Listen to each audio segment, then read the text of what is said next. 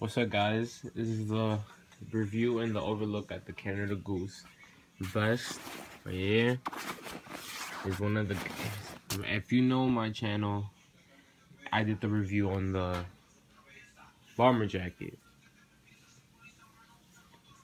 So now we're gonna do the review of this. This is the Canada Goose vest black I got something black because this is the most loudest coat I got you know, come on, it's loud. It's orange. So I said, let me go something, you know, subtle. A black one, so I can wear it all the time.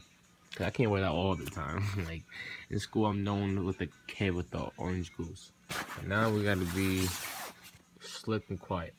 So yeah, this is the black one. Though mine is a little dirty. Gotta clean it.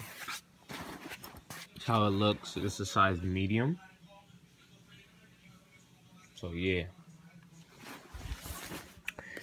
This is how you're gonna know the information is real. Like if it has this.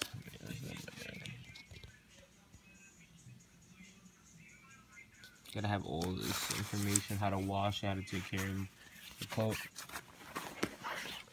I'm gonna show you how it looks on me. So this is how it's gonna look on you. Like that. You know? Size medium.